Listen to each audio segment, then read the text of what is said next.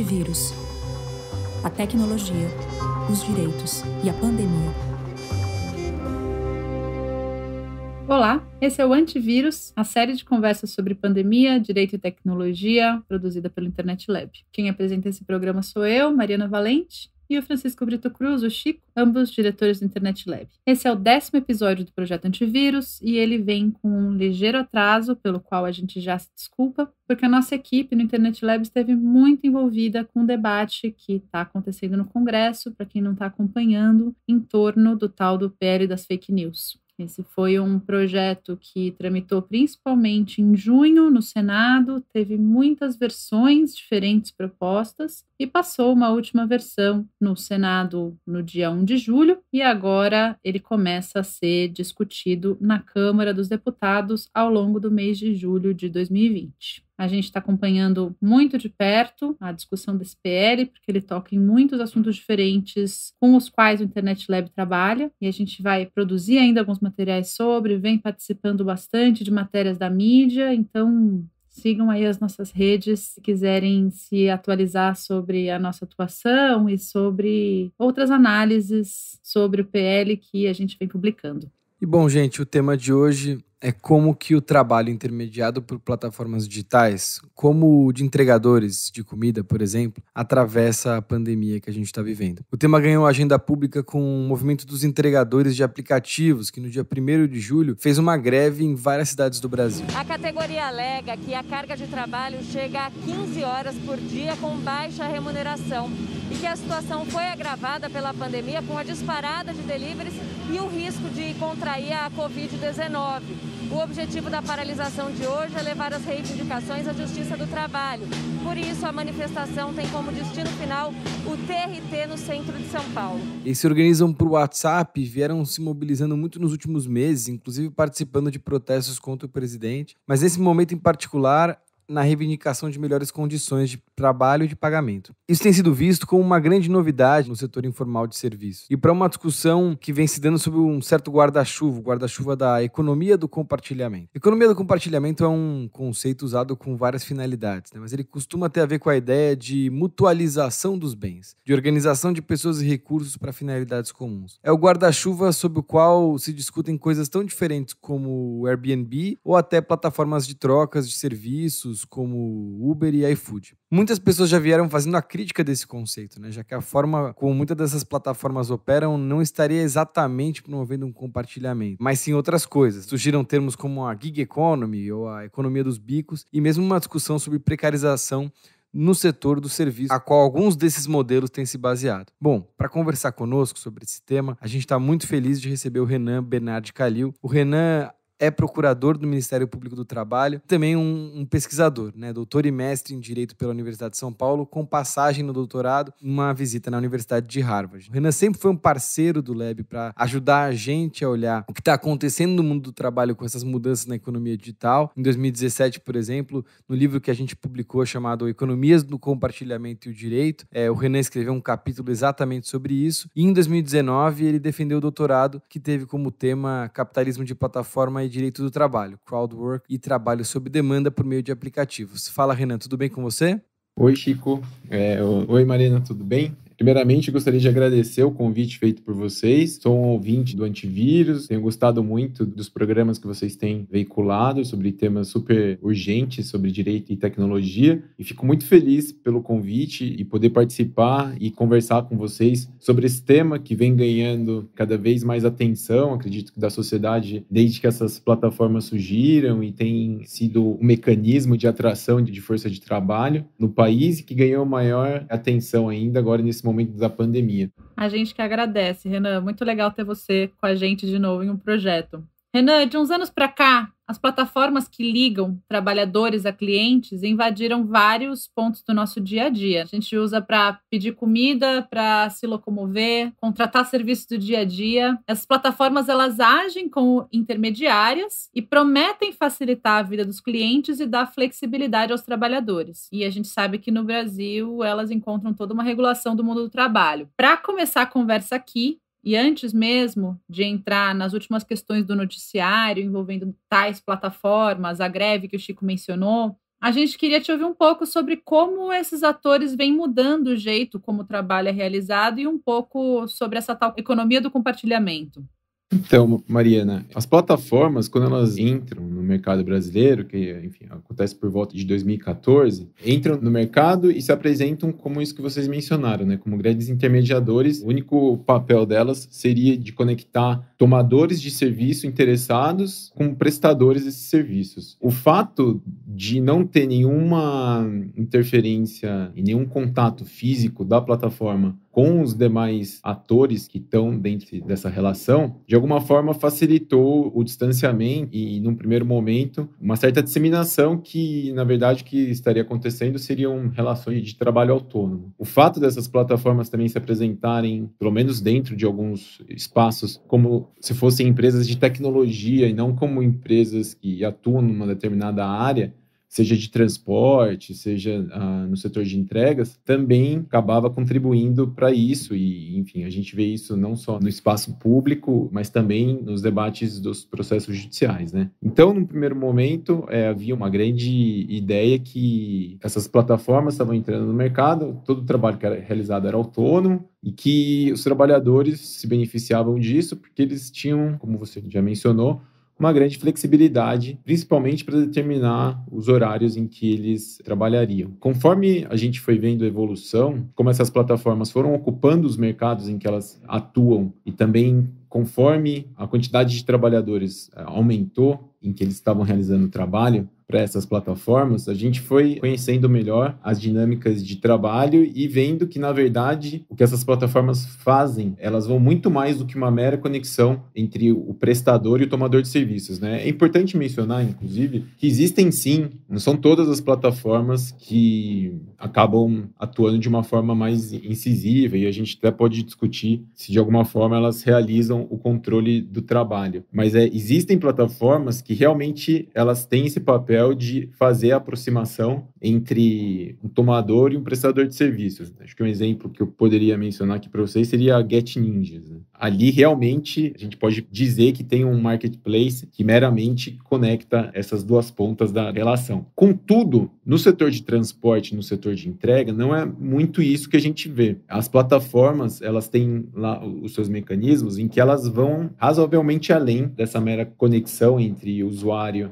é, e o cliente da plataforma e os trabalhadores, e, e, que, enfim, não seria possível equiparar e dizer que é uma relação é, de trabalho completamente autônomo. A forma pela qual tudo isso acontece, né, Mariana, é, acho que a gente pode até classificar e tentando dar uma olhada, assim, nas discussões que a gente vê, nas mudanças de organização da produção, dos anos 70 para cá, fazer uma, um panorama muito rápido, a gente vê uma tentativa de fragmentação do trabalho justamente para as empresas tentarem se afastar da responsabilização do trabalho e, e, consequentemente, diminuir os custos que elas têm em relação a isso. Né? Então, quando a gente olha para o toyotismo, que vai ali nos anos 70 e todo o processo de terceirização que se acompanha a partir daí, são métodos e movimentos que as empresas fazem nesse sentido. As plataformas e, e a disseminação é, dessas infraestruturas em alguns espaços do mercado, elas acentuam isso porque elas, enfim, tem todo esse debate de se afastar cada vez mais do trabalhador e dizer que não há nenhum controle em relação à forma pela qual o trabalho é, é realizado, justamente com que não haja uma identificação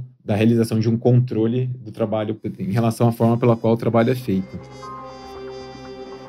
Calil, e essas mudanças, vai, na, na forma como essas empresas se organizam, elas vamos dizer, fazem com que as pessoas trabalhem muito diferente mesmo, né? Então, a gente tem aí dados das plataformas que falam: olha, tem uma série de entregadores ou de motoristas que trabalham menos horas ou trabalham uma fração do seu tempo nessa plataforma ou trabalham em outras plataformas. A gente queria te ouvir como que essas transformações todas desafiam o que a gente tinha de fato no direito do trabalho. Você estava falando da configuração dessas relações como relações de trabalho autônomo. Explica um pouco para quem não entende de direito do trabalho o que, que vem de problema jurídico relevante com isso. Né? A gente tem tanto as CLT de décadas atrás, como uma reforma trabalhista recente. Esses enquadramentos jurídicos dão conta do nível de transformação que esses serviços trazem, né? e nesses conflitos também são gerados a partir daí. Então, na sua opinião, quais os pontos que acabam ficando descobertos ou desajustados nesse possível descompasso entre direito e sociedade, entre direito, economia e tecnologia? Então, Chico, o grande debate que está posto no direito do trabalho hoje é se as plataformas são empregadoras ou não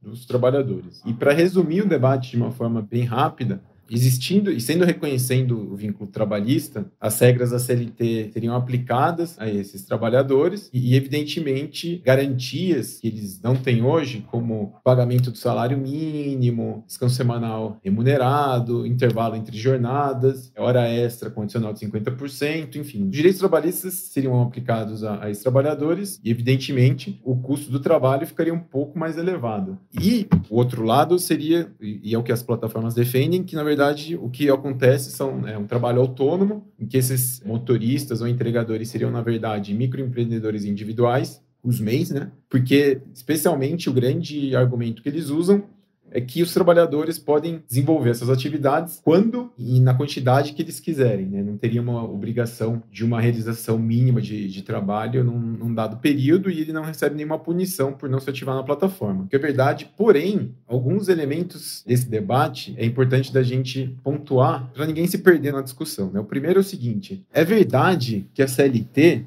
é de 1943, porém, é, a CLT sofreu uma reforma em 2011. Eu não estou falando da reforma trabalhista do Temer, mas estou falando de uma reforma que aconteceu no começo do governo da Dilma, em que ela mudou o artigo 6 da CLT e ela equiparou a subordinação tradicional, né, que seria o que a gente, dentro do direito do trabalho, classificaria como uma visão tradicional, seria o que a gente mais ou menos visualiza e, e acaba identificando no nosso dia a dia, né, que seria essa subordinação tradicional é quando tem um gerente, um encarregado de uma empresa que fica supervisionando o seu trabalho, dando ordem, falando o que você tem que fazer. Essa reforma de 2011, ela equipara esse tipo de subordinação à emissão de ordens, organização do trabalho supervisão de atividades por meio telemáticos. Ou seja, é, você não precisa ter um gerente ali no mesmo espaço físico que você, falando que você deve realizar, enfim, avaliando como você está desenvolvendo essa atividade. Isso pode ser feito por outros mecanismos. Então, é, dentro dessa visão da subordinação e, e a fiscalização de como essa atividade é feita, como essas ordens são dadas, a gente não teria nenhum problema em, em identificar enfim, a, a, subordinação nesses casos. O outro elemento que também está é, tá muito presente no discurso das plataformas é, é esse que você mencionou, né? Que os trabalhadores trabalham para diversos aplicativos, tem trabalhador que trabalha poucas horas no dia, trabalha poucos dias na semana. Eu gostaria de pontuar dois elementos para vocês. Né? O primeiro é a CLT no, no Brasil, né, o direito do trabalho no Brasil, ele não exige, não é requisito da relação de emprego, a exclusividade do trabalhador em relação a determinada empresa. Você pode ter dois, três vínculos de emprego. Não existe nenhum impeditivo para que exista uma impossibilidade de reconhecer o vínculo de emprego em relação a duas plataformas. Então, eu já afastaria essa primeira, esse primeiro elemento. O segundo é, mas tem trabalhador que trabalha três, duas horas por dia, né? não é uma, uma quantidade de, de trabalho relevante. E daí, mais uma vez, no Brasil, a gente já tem uma diversidade de modalidades contratuais que não são apenas o contrato de trabalho por tempo indeterminado, que seria o trabalho de 44 horas semanais, né? Você trabalhar cinco dias na semana, esse contrato mais padrão, que é o que a gente geralmente também identifica como a grande proteção do direito do trabalho. Existem outras formas de trabalho que prevêem cargas horárias menores do que a tradicional. Então, é, isso não seria um problema para também identificar uma relação de, de, emprego. Mas um aspecto que eu gostaria de mencionar é, apesar das plataformas dizerem, terem esse discurso, que grande parte da força de trabalho delas desenvolve poucas horas de atividade, não é isso que as pesquisas têm sido realizadas, tanto no setor de transporte como no setor de entrega, têm identificado. No meu doutorado, eu fiz um estudo de caso, particularmente em relação ao Uber, e, por exemplo, de todos os motoristas que eu entrevistei na cidade de São Paulo, quase 80% deles se declaravam economicamente dependentes da Uber. 60% deles trabalhavam mais de 10 horas por dia. Tinha uma quantidade expressiva também que eu não estou lembrando a percentagem exata agora, mas era por volta de 70%, que trabalhava mais de cinco dias na semana. Então, Uma outra pesquisa que também vale mencionar, né? Eu faço parte de um grupo de pesquisa sobre trabalho digital da Rede de Estudos e Monitoramento da Reforma Trabalhista, a REMIRE. A gente fez um levantamento das condições de trabalho agora durante a pandemia, tentando, enfim, é, a gente conversou com uma série de, de, trabalhadores inclusive pediu um comparativo sobre a situação deles pré e durante agora a pandemia. E a gente continua falando de jornadas elevadas nesse setor de entrega. Por mais que as plataformas digam e, e apresentem esse discurso que a jornada deles é pequena, não é isso que as pesquisas têm se debruçado sobre esse objeto, têm identificado. Mas mesmo que a realidade das plataformas tenha um grau de aderência à realidade, a gente identifica que o, o direito do trabalho não teria nenhum óbvio a reconhecimento da relação de emprego. E até um outro ponto que eu gostaria de mencionar, Chico, é assim, uma das primeiras lições que a gente tem no direito do trabalho é que o que vale dentro de uma relação de emprego não é o que está escrito no papel, né, mas é o que acontece na realidade. Então, ainda que a empresa não obrigue o trabalhador a trabalhar oito horas por dia, cinco dias na semana, se é isso que acontece na prática, a gente tem o reconhecimento de uma relação de emprego. Uma das primeiras lições que a gente tem nas aulas de direito do trabalho é: se eu tenho uma empresa e todo dia vai lá uma pessoa e trabalha para mim cinco, seis, sete horas por dia, ainda que eu nunca tenha falado para ela, eu te contrato e vou te pagar um salário X, se ela estiver indo lá e, desempenha a atividade relacionada ao serviço que eu presto, a gente tem uma relação de emprego nessa situação. Então, é importante também levar isso em consideração para tentar desmistificar alguns discursos que as plataformas colocam e que são razoavelmente desconectados tanto da realidade como do que o direito do trabalho, enquanto ramo jurídico criado para proteger o trabalho em situações de assimetria de poderes, como é o caso nas plataformas, acaba acontecendo. Um outro elemento também que é importante de mencionar, quando a gente fala de trabalho autônomo, por exemplo, a gente está falando, está discutindo de situações em que os prestadores de serviço eles têm uma liberdade considerável para determinar como o negócio vai ser gerido e vai ocorrer. A gente não está falando único exclusivamente da liberdade de escolher o momento em que vai trabalhar. Então, situações que são centrais nessa forma de trabalho, como por exemplo a determinação do preço, tanto das corridas como das entregas, os trabalhadores não são consultados, não tem nenhuma espécie de diálogo com eles. É uma determinação unilateral que as plataformas fazem. Então, a gente tem muitos elementos para dizer que definitivamente a gente não está diante de uma relação de trabalho autônomo entre os trabalhadores e essas plataformas, sejam as de transporte, sejam as de entrega. Eu queria aproveitar tudo isso que você está falando para puxar um gancho. A gente tem visto por aí alguns debates sendo feitos, não só no Brasil, mas no mundo, de se seria necessário repensar categorias ou pensar numa categoria intermediária, por exemplo, que não significasse a proteção como CLT, mas também não significasse é, trabalho autônomo. E aí eu queria perguntar qual que é a sua opinião ou visão sobre esse debate e o que, que você tem visto como ou tendência ou casos interessantes em outros países para a regulação desse tipo de trabalho.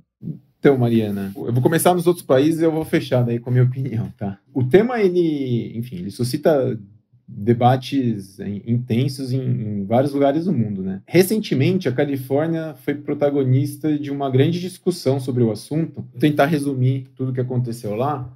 É, em 2018, a Suprema Corte do Estado analisou um caso e mudou a forma pela qual se identificava os requisitos da relação de emprego dentro do estado da, da, Califórnia. É um caso que chama Dynamax, que ficou famoso dentro do mundo do trabalho, somente nos Estados Unidos. Posteriormente, em 2019, uma deputada estadual, a Lorena Gonzalez, apresentou um projeto de lei para codificar no Código Trabalhista do Estado da Califórnia o conteúdo dessa decisão judicial. Qual que é a grande novidade que a gente tem nesse movimento que acontece na Califórnia e que acabou colocando no centro do debate a classificação, principalmente dos motoristas de plataformas. Geralmente, no direito do trabalho, a gente coloca quais são os requisitos da, da relação de emprego e tudo que não tiver enquadrado na relação de emprego, ele é considerado trabalho autônomo. O que a Califórnia fez foi eles definiram quais eram os requisitos para se classificar o trabalho autônomo e tudo que não fosse trabalho autônomo ia ser considerado relação de emprego. Então, eles inverteram a lógica de é, proteção do trabalho. E todos os, os enfim, é, tanto a academia como os ativistas, os sindicalistas que atuam nessa área, ficaram muito animados com a aprovação dessa lei, é o, é o projeto AB5, porque ele permitiria classificar todos esses trabalhadores de aplicativos como empregados. Está tendo uma grande discussão ainda na Califórnia, porque as plataformas não passaram a classificar é, os trabalhadores como empregados. Já existe uma série de medidas judiciais querendo que isso aconteça. É, as plataformas também estão tentando se esquivar dessa responsabilidade, tentando criar plebiscitos ali no estado para afastar a aplicação dessa lei para os motoristas em específico, mas é um debate que ainda está caminhando. Para além disso, a gente tem em vários países eh, grandes debates judiciais se os trabalhadores devem ser considerados como empregados ou como autônomos. Na Espanha, por exemplo, tem muitas decisões que apontam para os dois lados. Na França, recentemente, a Suprema Corte de lá decidiu um caso em que um motorista da Uber foi considerado como empregado. No Reino Unido também tem uma decisão bem emblemática, no caso Aslan contra Uber, em que está pendente ainda o julgamento perante a Suprema Corte, mas em todas as outras instâncias é, o, o, motorista da Uber foi classificado como é, trabalhador. E daí, só para fazer um pequeno parênteses, na Inglaterra eles têm um, um sistema de três classificações, né? Então, eles, você pode ser empregado, trabalhador ou autônomo. O trabalhador, ele, enfim, essa categoria intermediária que, que você mencionou, em que ele teria alguns direitos da relação de emprego é, tradicional, mas não receberia outros e, e teria alguma mais liberdades, né, que não existiriam necessariamente na relação de emprego. Tem muitos debates que estão ocorrendo em face disso.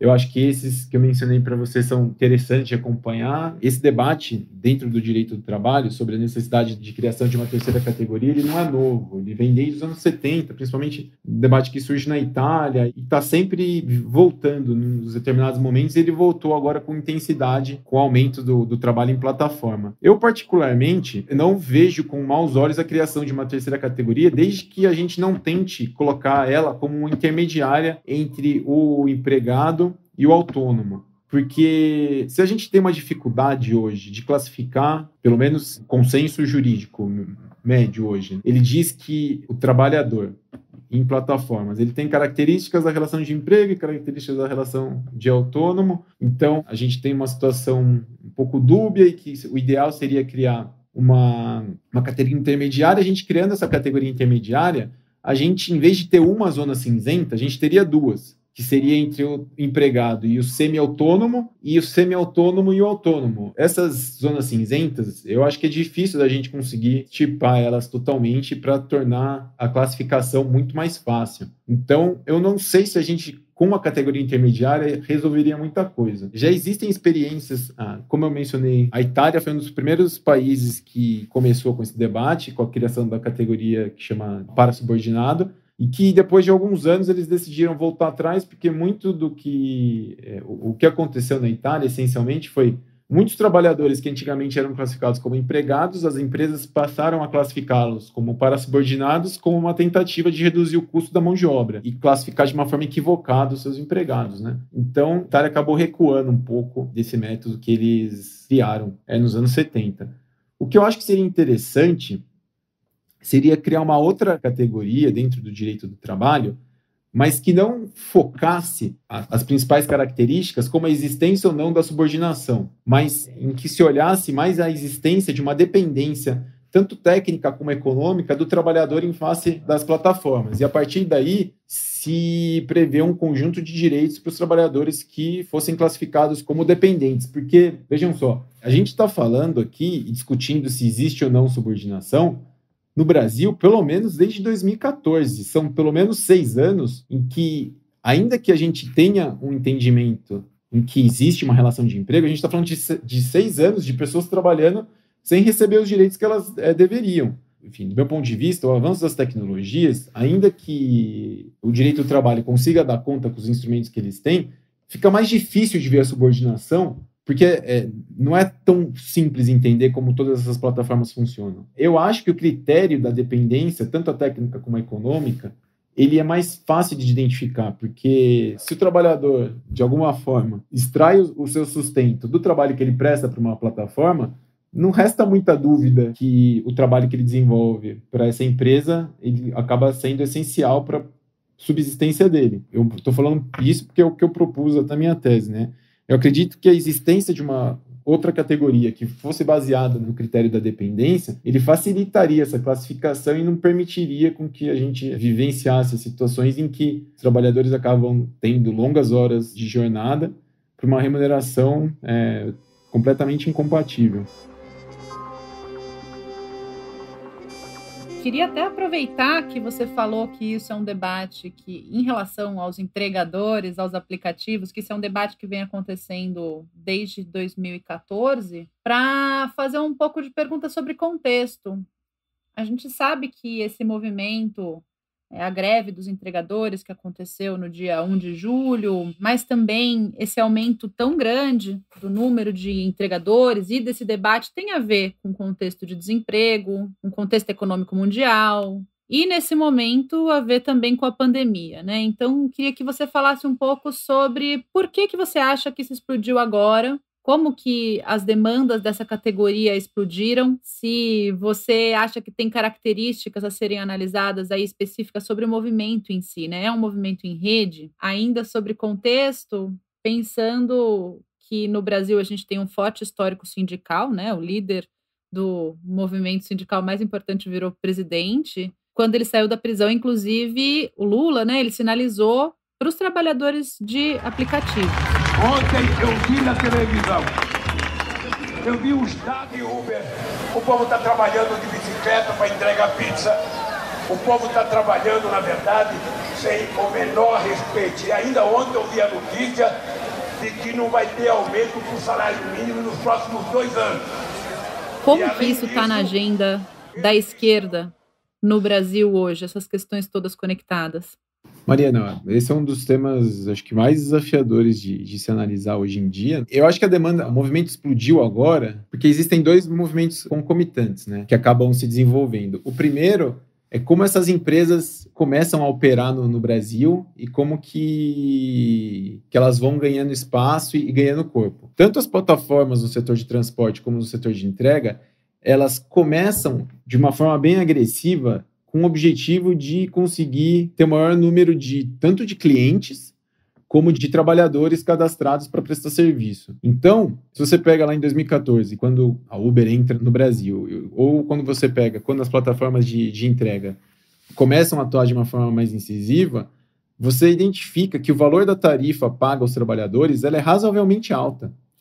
Tanto que, logo no começo disso tudo, teve uma investigação que estava em curso no Ministério Público do Trabalho. Quando eu estou falando dessa investigação específica, desse momento, estou falando dessa situação também que a tarifa está alta. Está em curso essa investigação no Ministério Público do Trabalho para ver se existia ou não fraude da relação de emprego. E tem um grupo de trabalhadores que se dirige até a Procuradoria falar que eles não queriam ser reconhecidos como empregados, porque como autônomos, eles estavam recebendo uma tarifa muito boa e que, comparando com o salário que o motoboy recebia à época, era muito melhor para eles. Então, eles não tinham nenhum interesse, do ponto de vista do rendimento que eles estavam conseguindo obter ali, de ser classificados como empregados. Só que o que acontece? Conforme o tempo passa e essas empresas começam a se consolidar no mercado, o valor das tarifas vão baixando. Eu identifiquei isso, isso era uma coisa muito presente no discurso de todos os motoristas que eu entrevistei na minha tese de doutorado. Agora, na, nessa pesquisa que a gente fez com os entregadores na pandemia, uma parte gigante deles é, disse que a remuneração deles baixou durante a pandemia, agora no Covid-19. Uma série de reportagens que foram realizadas também, os trabalhadores estavam testemunhando que no começo eles recebiam, o mínimo era quatro reais, eles recebiam quatro reais por quilômetro rodado, depois recentemente, antes da pandemia, estava um real por quilômetro rodado e na pandemia eles estavam recebendo 70 centavos. Então, você vê que conforme essas plataformas se consolidam e elas viram a grande referência, elas começam a baixar o, o valor que é pago aos trabalhadores. Concomitantemente a isso, eu acredito que os trabalhadores percebendo esse movimento, eles passam a se organizar e a insatisfação começa a ficar mais candente. E eu acho que nesse momento específico da pandemia, em que a atividade deles é considerada como essencial, inclusive, naquele decreto que o presidente é, classifica que deve continuar funcionando para permitir as medidas de isolamento social de quarentena, decreto 10282, esses trabalhadores falam assim, mas poxa, eu estou aqui me expondo ao risco de contrair um vírus e, e, ter uma doença que é mortal, que ninguém sabe direito como lidar com ela, e os, os, o rendimento que eu consigo obter está diminuindo, então, eu acho que isso cria um caldo de insatisfação, aumenta pelo menos, e que permite que esses trabalhadores pudessem se organizar e ter um movimento que a gente viu na semana passada. Em relação a, a, aos movimentos em que o campo progressista, a esquerda em si, está fazendo, vendo os projetos de lei, por exemplo, que existem no Congresso Nacional, eles apontam para muitos lados, né? Então, por exemplo, o senador Jacques Wagner, na véspera da manifestação, apresentou um PL classificando os entregadores como mês, mas prevendo alguns direitos. Mas dentro do mesmo partido tem um, um, projeto do deputado Rui Falcão em que classifica eles como empregados e prevê uma série de direitos também. E daí eu acho que assim, do levantamento que eu fiz, tem aproximadamente 30 projetos de lei de congressistas de uma série de partidos, de correntes ideológicas distintas também, apontando para soluções diferentes para essa situação desses trabalhadores, tanto dos motoristas como dos entregadores. Eu acredito que está bem aquém ainda, pelo menos das principais lideranças do campo progressista do espectro político, se está bem aquém de compreender a complexidade do problema e a situação é, deles para se propor medidas que sejam mais, mais enfim, efetivas para a proteção desses trabalhadores. Porque, apesar da, da gente ter, e, e, eu ter mencionado já, né, que enfim, o direito do trabalho no Brasil ele já tem uma série de instru instrumental que permitiria proteger esses trabalhadores, esse trabalho ele tem uma série de características que, evidentemente, a CLT não vai trazer. Elementos que são centrais no desenvolvimento do trabalho dessas pessoas, que é os sistemas de avaliação, possibilidade de realizar a portabilidade de avaliação de uma plataforma para outra, consequências de receber avaliações negativas, como que as empresas lidam com isso, desligamentos abruptos que os trabalhadores sofrem, a necessidade de se prever mais transparência em relação a isso.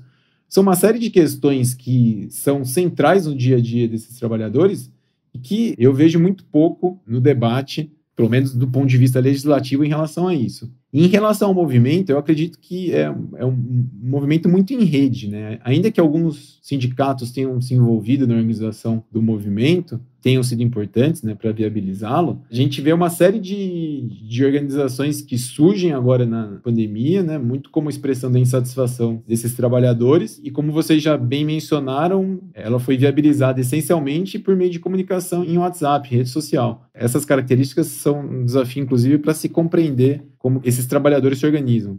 Renan, queria te fazer agora uma última pergunta a respeito de como você acha que essa energia do chamado break dos apps, é, dessa greve que aconteceu no dia primeiro, pode ser canalizada de uma forma propositiva, né? Então, o que, que você vê como questões que podem ser colocadas na agenda pública ou na agenda regulatória que fazem sentido né, para canalizar essa energia importante que foi demonstrada no dia primeiro? Além dessa pergunta, eu queria te fazer uma provocação pouco como advogado do diabo. A gente sabe que essas empresas buscam expandir a sua base de usuários o máximo que elas conseguem antes de abrir seu capital na bolsa. Isso é bem importante porque elas se tornam mais atrativas para depois buscar a tal lucratividade.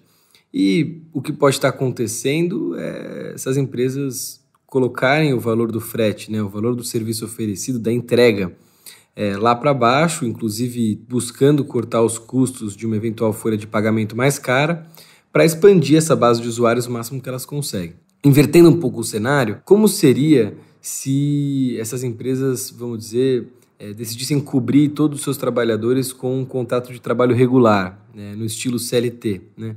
Será que a gente não ia ter um serviço mais elitizado de um lado, numa ponta, porque o frete teria que ser mais caro e nem todo mundo é, teria dinheiro para pagar? E na outra ponta, os rendimentos dos entregadores não subiriam tanto ou mesmo diminuiriam, pensando que a folha em si custa bastante, né? Os impostos sobre a folha, é, os benefícios e tal, então o rendimento líquido desses entregadores não necessariamente subiria. Isso é uma questão interessante porque acho que coloca a gente para dizer se esses modelos aí são sustentáveis, né?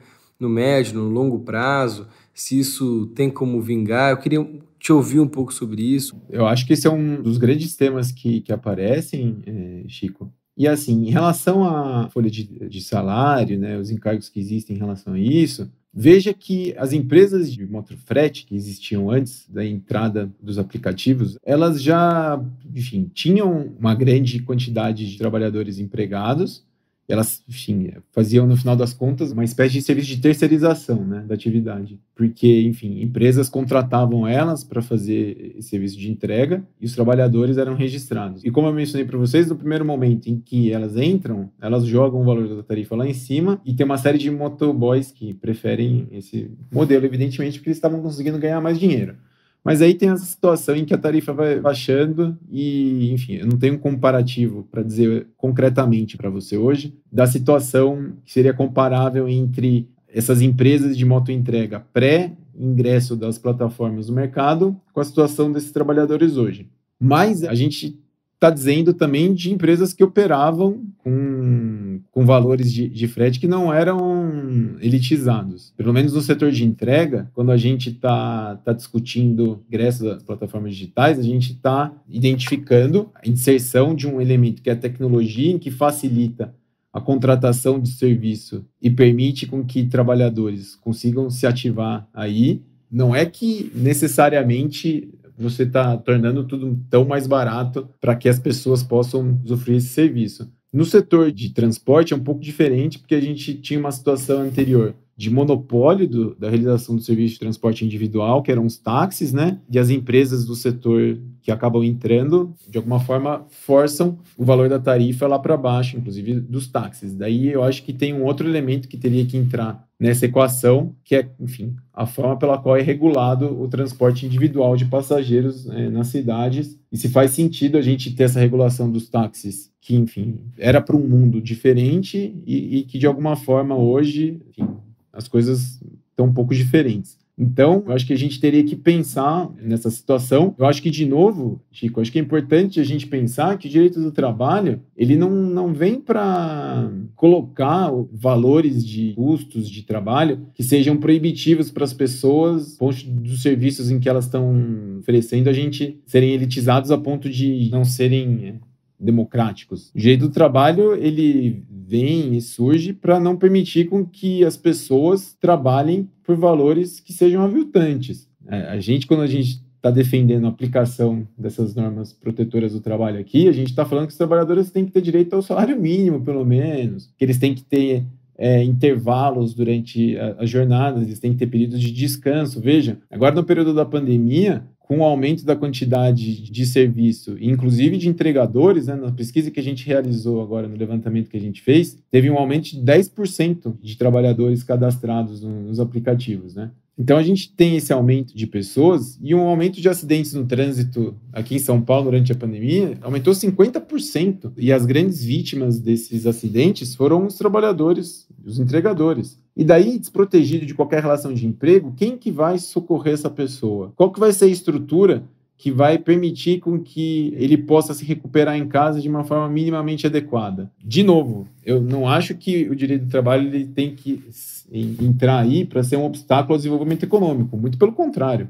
O direito do trabalho, ele vem para se garantir condições mínimas. E assim, de verdade, Chico, eu acho que não tem por que as empresas que atuam nesses setores, né, tanto de transporte como de entrega, elas se submeterem a condições diferentes pela qual pequenos é, empresários no país inteiro, que são os maiores empregadores do país, são obrigados a se submeter, observam a, a legislação, não tem por que esses pequenos empresários estarem sobre o domínio da lei e as, e as plataformas não. Muitas vezes, esses negócios eles têm muito menos condição do que não só as empresas de moto entrega, mas assim, você mencionou né, que muito do, da tentativa de classificação dessas empresas né, é, entra numa ideia de economia de compartilhamento, que faria sentido se elas observassem alguns requisitos, né, tivessem algumas características, que não é o que a gente vê na prática.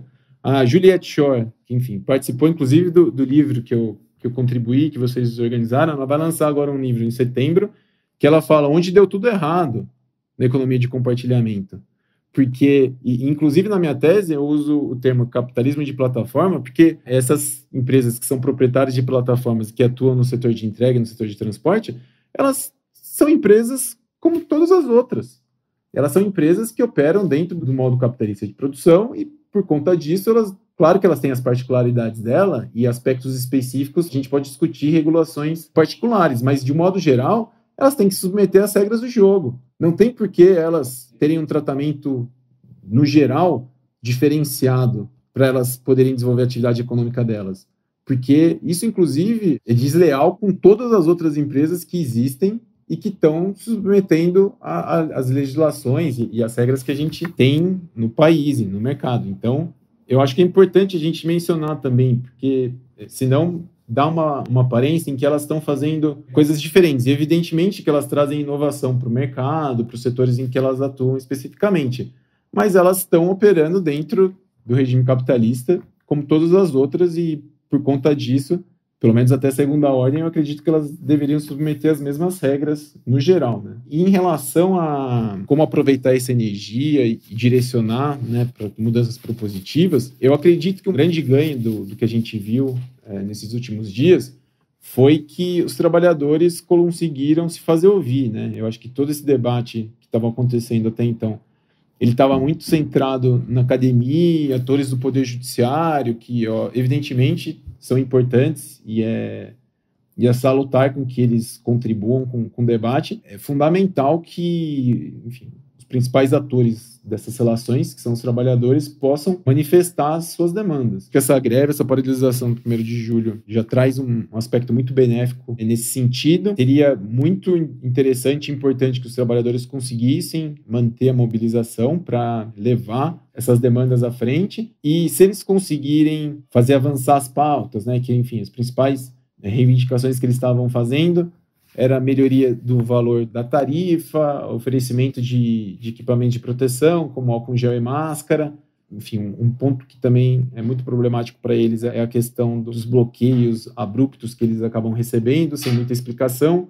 Se eles conseguirem avançar nesses pontos que são mais sensíveis para eles, né, a ponto de estarem na pauta de reivindicação, é, é excelente. Evidentemente, eles vão ter a capacidade de, de definindo os rumos que o movimento deve tomar. Para além disso, eu acredito que a gente tem que tentar fazer avançar na sociedade que tipo de regulação que a gente imaginaria que seria adequada para esse grupo de trabalhadores. Né? Se seria a CLT com uma reforma específica para prever direitos específicos, a criação de uma outra categoria, criação de direitos, mantendo a classificação deles como autônomos, enfim. Tem todo um grande debate aí, né, do ponto de vista da regulação do trabalho, que eu acredito que, que é essencial também se manter para a gente finalmente ser capaz, quanto sociedade, de dar uma resposta para esse grupo de trabalhadores que vem aumentando cada vez mais no, no país. É isso, Renan. Obrigado demais pelo papo. Deu para aprender um monte de coisa com você aqui. E é isso, gente. A gente fica por aqui nesse episódio do Antivírus. Siga o Internet Lab nas redes sociais e continue acompanhando o Antivírus, que nas próximas semanas tem mais. Valeu, tchau, tchau. Antivírus um podcast do Internet Lab, apresentado por Mariana Valente e Francisco Brito Cruz. Produção: Sérgio Mota. Edição de som e vinheta: Arthur Decloé. Identidade visual: Marina Zilberstein.